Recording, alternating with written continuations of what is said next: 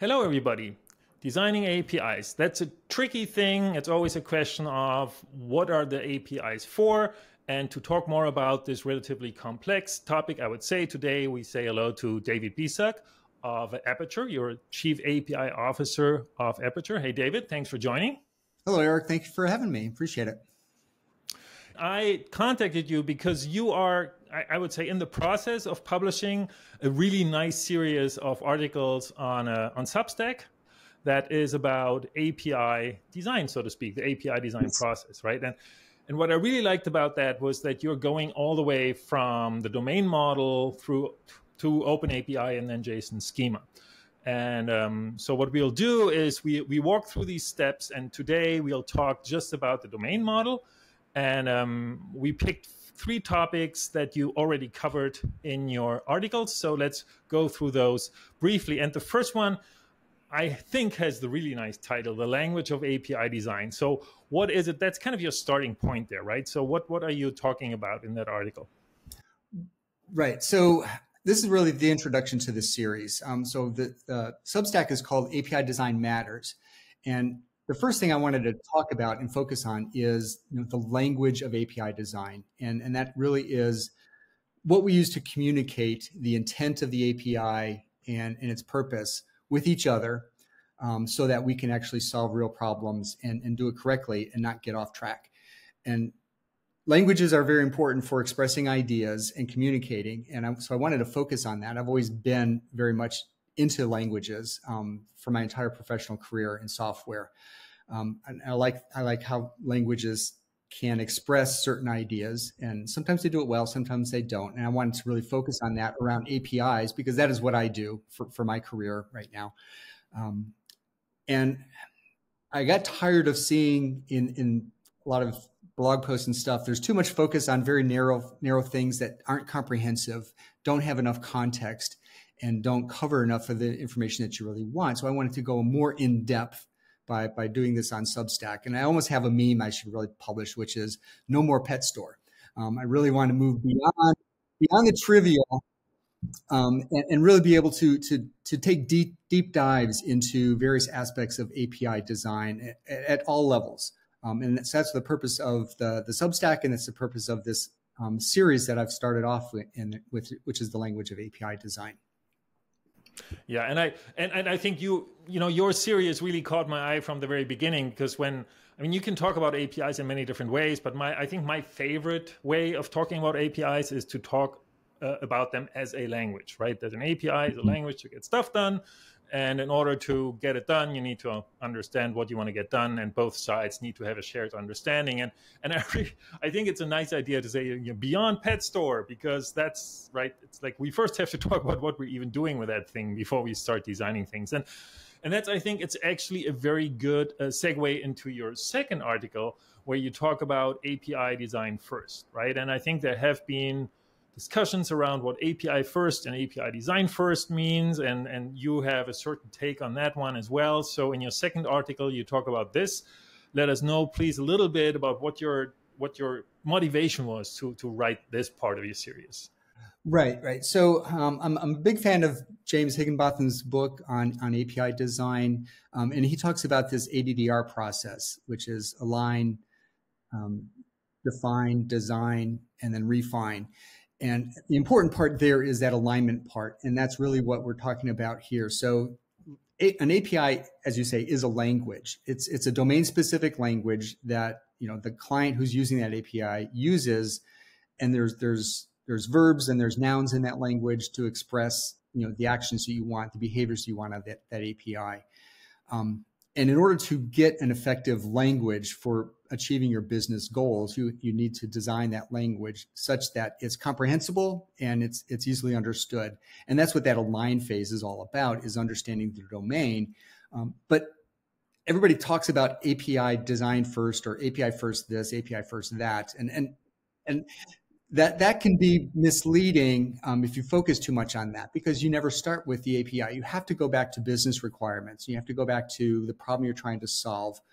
Why are you creating the API to begin with? Who are your users? How do what problems are they trying to solve? And then how do they achieve that with the API? And so you have to build this language which is part of domain driven design, is, is what's called the ubiquitous language. And it's a common understanding between all the parties about what is the domain, what are the key terms in that domain, what are the behaviors that the users need to execute within the software application, and then be able to translate that language into the language of an API.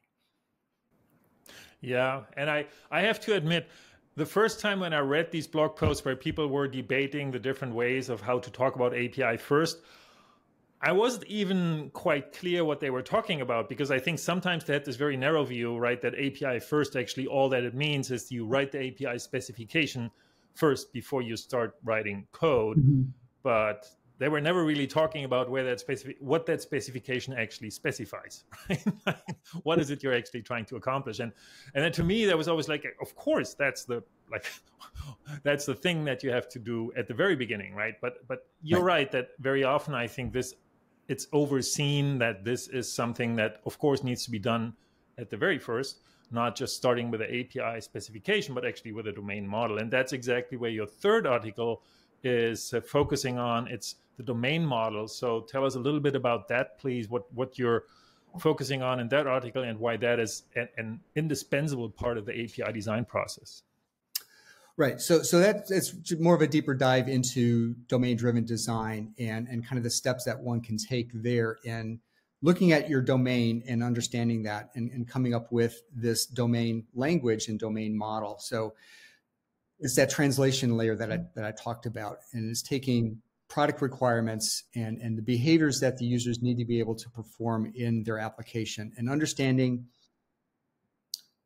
how to look at that, that broader context and then analyze it into um, things like resources that they're going to be able to manage. And then resources become uh, API objects that in, in, a RESTful API, you know, you're exchanging representations of those resources. You're creating resources, you're modifying resources, you're performing actions on those.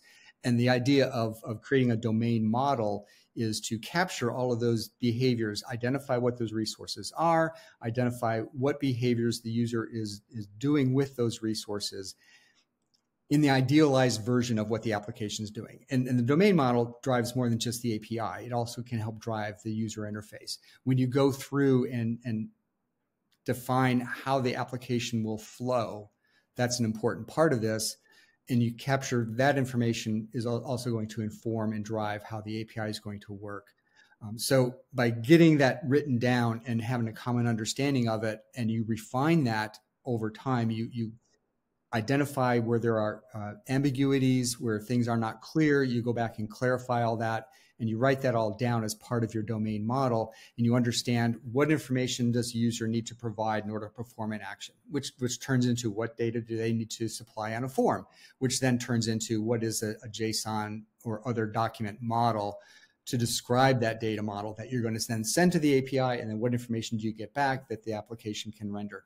And all that stuff coalesces down into a, a single domain model that captures all those constraints. Um, and you also document um, additional things like entitlements or or who are your actors what permissions do they have who can see what data who can perform what actions all of that gets captured into a single domain model and then everybody can agree on that before you actually start with defining an api or, or before you even start maybe mocking up a user interface as well mm-hmm.